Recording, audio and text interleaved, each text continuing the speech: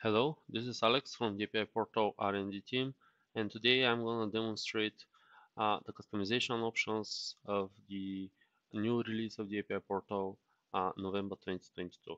Now, this release comes with the uh, totally new UI and uh, new look and feel, and this new UI is based on the T4 page builder Joomla component.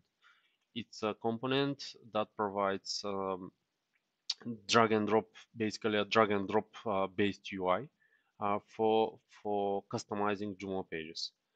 Um, it's very easy to use and uh, it requires none or a minimal a minimum amount of uh, technical skills. Uh, okay, so all the pages of the API portal are now based on this uh, T4 page builder component so that it's easier for our customers to to customize them. Now in this video, I'm gonna sh quickly show you some of the customization options because they are a lot. I cannot show you all of them, but I'll give you an idea on how you can uh, very easy and quickly customize your API portal. Okay, let's begin. First, I'm gonna show you how to customize a static uh, page, one of the static pages of the API portal. Uh, for example, this one, how it works it's static because its content is uh, is static. It's not dynamically fetched from uh, anywhere. Okay, let's go. Uh, how it works page. So uh, we need to go to the Joomla admin interface, and uh, here in the component section, uh, there is a new menu item called T4 Page Builder. I go there and click on All Pages. Here is the list of, of all API portal pages now I need to find the page that I want to edit. This is how it works. Okay, I click on the edit page button and uh, the editor for that page will will uh, uh, uh, will open. Okay, here it is. So uh, let's start to do some changes. For example, I don't want this to be called register. I want to be uh, called sign up so I just change the title here. Let's say this paragraph I don't want it. Uh, let's try switching places of this image and of this text here. So I just move it like here. You see it's a, it's a simple uh, move move operations that I'm doing here. And let's try moving this a little bit up okay. Uh, okay. Save uh, the page is now saved in the editor. Uh, as you can see there are plenty of options here. Um, I'm not gonna go through them because it's gonna be too long of a video. Uh, but um, you can play with them. Uh, it's a really really powerful tool. Now let's refresh here. And as you can see that with uh, a small amount of effort I I um, achieved actually a different uh, layout of this page. Okay now let's go and um, customize one of the of the dynamic pages of the API portal. For this purpose I will have to log in okay.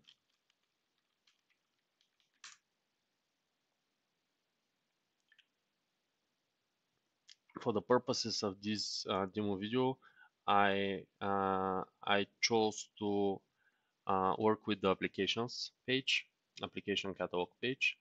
So I go again into the uh, T4 page builder um, all pages menu item and I find my page here. I will look for my page here, which is application catalog. Okay, edit page. Again, the editor is taking some time to load. Okay, now, uh, as you can see, uh, there's the title here, the text here, and there's a block of something down below. Um, we can't see actually the applications this nothing of this is not shown here because it is part of this module, the one that is rendered here. So I can uh, change the title, for example, here. Um, let's say, for example, application catalog. I can do some changes here, but you're gonna be small changes actually. Okay, refresh. Okay, the title is changed. Um, but I actually want to do changes for this part of the page. So now with this release, uh, the API portal utilizes the power of modules, the Joomla modules. I'm not gonna go into further into details about Joomla modules here. If you're interested, you can read about them, but they are basically a block of, of um, a, a, representational type of features uh, for Joomla, and um, now everything dynamically fetched for the API portal is based on modules. So for that page, the module is called applications catalog. So I need to, if I want to do some customizations on the dynamic part of the page, I need to go to the uh, to system site modules and I have to find my uh, module uh, which is called applications catalog. I open it and as you can see I have some options here. Um, for example uh, let's say I don't want my users to be able to create applications from the API portal. I don't want uh, to show the table layout just the list and the tile layout. And let's say I don't want to uh, show sort buttons for example. Okay. Uh, save. And when I refresh the page here I see that I have no create button here. I have no uh, option for the table layout here. And I have no sort option. Of course I can always uh, uh, get them back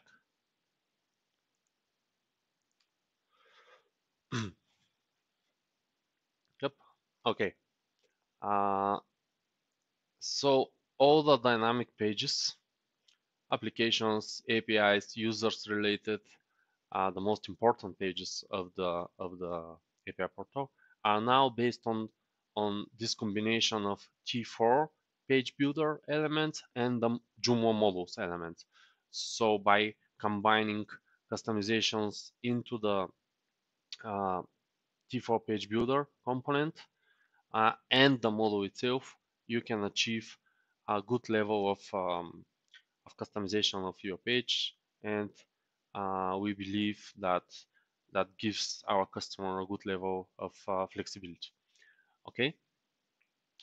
Uh, let's continue with uh, the other type of customizations that are possible with the new release of the API portal and this is the customizations that you can do on the whole template style. Uh, for this purpose, you need to go again to system, uh, site template styles. So here, uh, as you can see, it is selected T4 default as the default template style, but you can notice that this T4 page builder style uh, is actually uh, the one that is assigned to the all 18 pages.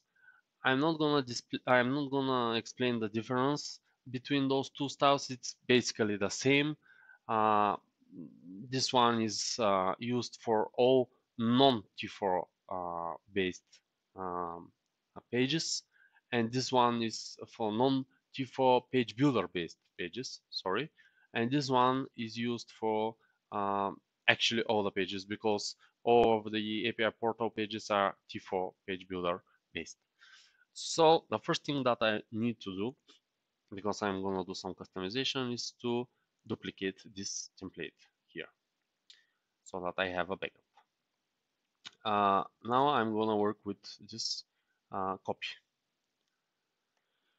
I open it and it renders another type of editor here. Again, very easy to use okay um, let's first go to this uh, team cover is the easiest thing that you can change and immediately see on your site. So this is mm, with T4 page builder, uh, pages are Sass based, means that um, it's uh, like CSS on steroids. uh, you have variables here. So uh, basically CSS variables. So I would uh, first do a copy of this uh, cover here. Uh, it's the default one actually that ships with this uh, with the API portal, but I'll do my own copy of it. And let's say I say I call it actually copy just for the sake of the backup. Uh, then I click edit and uh, those are the variable variable names here. And for example, uh, if I want to change this this button here, I will change this danger variable to something like I don't know something like uh, this one. Okay. Uh, let's say I want to change this primary color to something more green okay as you can see it's immediately um, reflected here on the right side.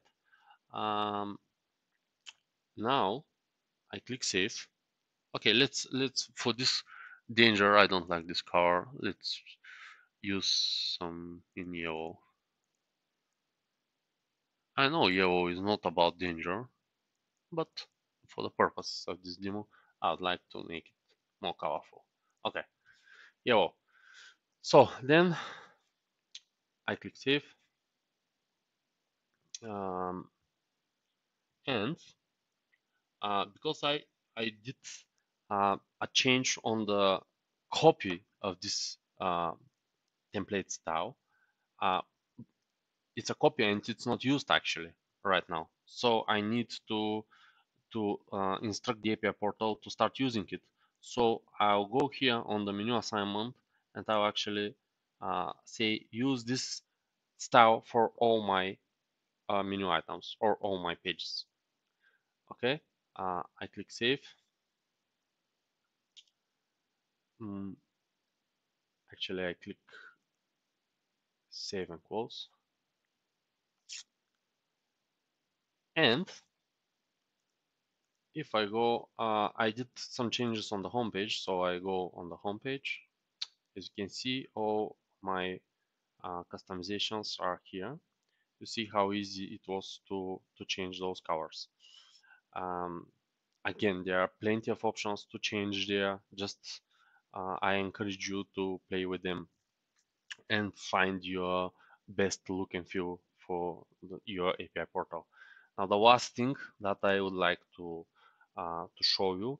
For uh, for the one that for those of you that actually has some has technical skills uh, you can actually uh, directly mm,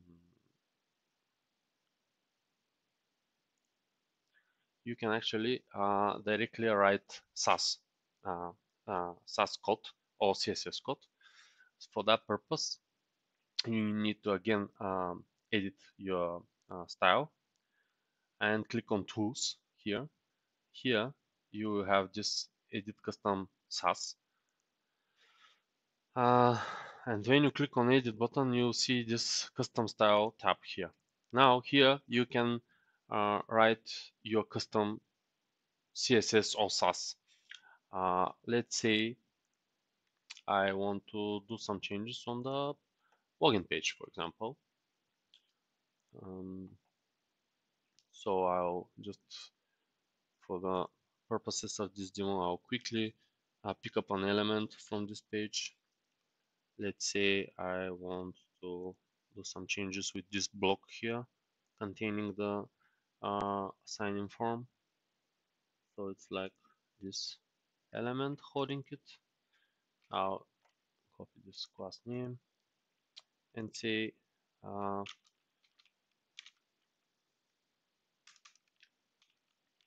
something like core green, for example. I want those colors to get green. Okay. I click save and compile, which means that uh, it's gonna be compiled to Sass. Uh, uh, actually, it's gonna be compiled to CSS code. Okay, uh, it doesn't matter. It's actually a CSS code. It could have been a Sass code, and um, so you always need to save and compile. Okay, so when I refresh here, I expect yeah uh, those those labels here uh, to be in green, and they are in green. So uh, again, you can write whatever uh, CSS code you like here. And um, so uh, this this was a quick uh, walk through the uh, T4 page builder customization options. Again, there are plenty of them. Uh, it's not possible to show all of them in one demo video. and again, I encourage you to go uh, fetch the new release of the API portal and start playing with these customization options. Thank you for watching. Uh, bye bye.